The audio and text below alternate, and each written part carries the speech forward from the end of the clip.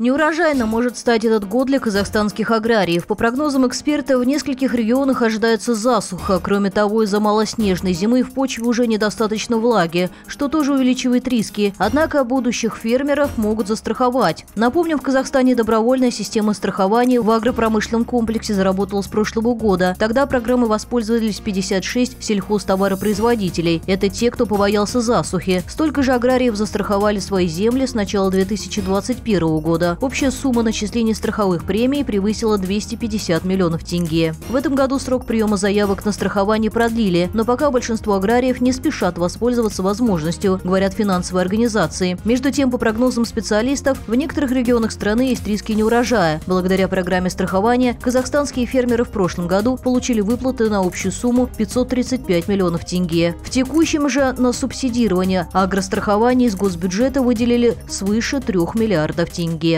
Этот продукт, он максимально такой прозрачный, без человеческого фактора. Здесь э, отказа, отказов не бывает 100% случаев, потому что система полностью автоматизированная, контакт э, страхователя со страховщиком отсутствует полностью, то есть онлайн заключается договор, онлайн с помощью э, дистанционных источников зондирования земли мониторится состояние влаги, каждый день сельхозтоваропроизводитель получает данные. И если фиксируется определенный триггер, который установлен, ниже влага упала, то приходит сразу уведомление, и страховщик видит, и страхователь видит эту информацию, и идут расчеты. Во Франции завершилась серия мероприятий по укреплению экономического сотрудничества с Казахстаном. Впервые за долгое время казахстанская делегация смогла приехать в Париж и провести ряд встреч, которые завершились конкретными инвестиционными проектами. Минусы пандемии в казахстанско-французском деловом сотрудничестве превратились в плюсы. Закрытые границы увели максимум общения в онлайн, но регулярные вебинары позволили продолжить имеющиеся проекты и начать новые. На долгожданную офлайн встречу в Ассоциации французских предпринимателей из-за санитарных мер было допущено ограниченное число участников. Желающих было гораздо больше. Франция входит в число главных инвесторов в казахстанскую экономику. В среднем около миллиарда долларов ежегодно. Промышленные гиганты вроде Альстом и Тоталь намерены дальше развивать свои проекты вслед за корпорациями. Интерес к инвестициям в Казахстане проявляют и небольшие компании. Французское предприятие в казахстанской экономике будет нарастать и дальше. Приезд казахстанской делегации стал важным этапом усиления сотрудничества двух стран. Во время ответного визита планируется подписание дорожной карты партнерства на ближайшие ближайшие годы. Этот документ должен определить точки роста экономической кооперации Франции и Казахстана. Очень хорошая встреча получилась. Она показала, насколько госорганы в Казахстане прислушиваются к нашим предприятиям. Был прекрасный диалог между компаниями и вице-министрами иностранных дел и индустрии. А, желание вкладывать в экономику Казахстана есть. И вот сейчас мы как раз таки сверили часы, нашли ряд новых компаний. Наш большой партнер – это ассоциация крупных э, французских компаний Медеф. Два дня они поддержали, и уже через 10 дней состоится ответный визит э, французской делегации в составе 30 компаний Франции летят в Казахстан, посетят Нур-Султан и Атрау э, по новым проектам. В Мексике начали выпускать российскую вакцину от коронавируса «Спутник Ви». Об этом на встрече в Москве договорились министры иностранных дел двух стран. Выпускать вакцины будет мексиканская лаборатория «Бирмекс». В ней займутся разливом и упаковкой вакцин. Все необходимые материалы предоставит Москва. Производство планируют начать в мае. «Спутник Ви» поставляют в Мексику с февраля. По словам министра иностранных дел страны, этой вакцины привились почти миллион мексиканцев. Ранее Мексика подписала соглашение на закупку 24 миллионов доз «Спутника Ви». Сейчас власти планируют наладить масштабный разлив и упаковку российской вакцины. Они заявляют, что смогут выпускать до 90 миллионов доз в год. Также идут переговоры с Российским фондом прямых инвестиций о производстве в Мексике вакцины «Спутник Лайт». Выпускать препараты «Спутник Ви» будут и в Турции. Об этом на днях договорились Россия и турецкая фармацевтическая компания. Производство начнется в ближайшие месяцы. Также Турция закупит 50 миллионов доз российской вакцины. Первая поставка запланирована на конец мая. Несмотря на э, тяжелые условия для дипломатии в связи с пандемией,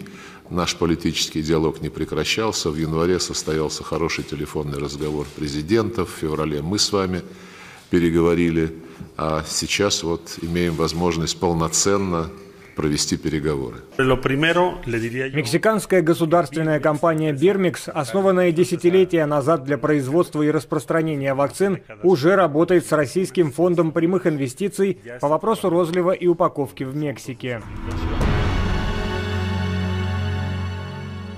Украинский «Нафтогаз» рассчитывает на активизацию борьбы с запуском газопровода «Северный поток-2» после смены власти в Германии. Об этом заявил новый исполнительный директор компании. Он отметил, что рассчитывает на поддержку США в этом вопросе. Газопровод «Северный поток-2» должен позволить России поставлять топливо в Европу в обход Украины. На фоне санкций США и критики в европейских странах запуск газопровода неоднократно откладывался. По последним данным подрядчика, проект должен быть реализован до конца этого года. Мы будем, мы будем оказывать максимальное давление на «Газпром» со стороны «Нафтогаза», используя наши правовые возможности.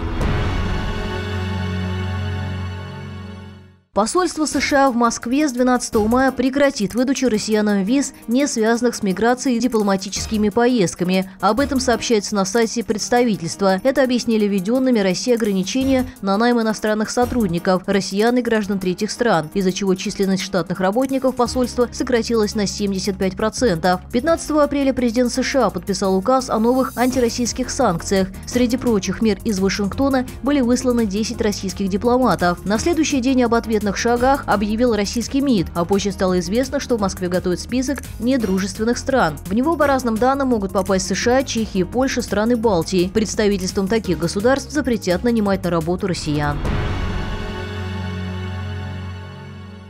Крематории в Индии работают круглосуточно. Ежедневно умирают более чем 3000 индийцев. Число новых случаев вторые сутки подряд превышает 400 тысяч. Заболевшим не найти свободных коек, не хватает лекарств, хотя Индия один из крупнейших в мире производителей медикаментов. Самая тяжелая проблема – нехватка кислорода для аппаратов искусственной вентиляции легких. Образовался огромный черный рынок, где баллоны с кислородом продаются в 10-20 раз дороже. Помощь Индии отправляются из США и Европы. Это кислород, аппараты ИВЛ, а также исходные исходные материалы для производства вакцин. По словам экспертов, неконтролируемая вспышка в такой густонаселенной стране, как Индия, несет огромную опасность для всего мира. Ситуация усложняется и сообщениями о новой мутации коронавируса, который может оказаться нечувствительным к существующим вакцинам. В Хайдарабад прибыла первая партия российской вакцины «Спутник Ви». Прививки должны начаться в течение 10 дней после получения второй партии проверки качества. При этом рассматриваются и варианты производства российского препарата на месте. «Спутник Ви» стал третьей вакциной, разрешенной разрешенный к применению в Индии после AstraZeneca и Коваксина индийского производства. 1 мая в стране формально началась массовая вакцинация самых широких слоев населения, однако власти многих штатов сообщают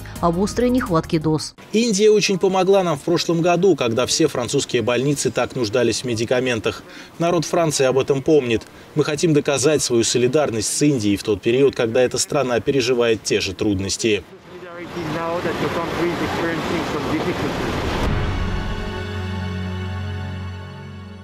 В японской префектуре Судзиока по меньшей мере три человека пострадали из-за ураганного ветра. Стихия разрушила и повредила больше сотни зданий, перевернула машины, лишила электроэнергии 600 домов в городе Такинахара. Местные жители убирают обломки и осколки с улицы крыши. Размер материального ущерба еще предстоит оценить. При этом разрушения в городе сконцентрированы вдоль одной прямой линии. По данным местной метеостанции, накануне в Сидзуоке подошел холодный фронт, из-за которого начались шквальные порывы ветра.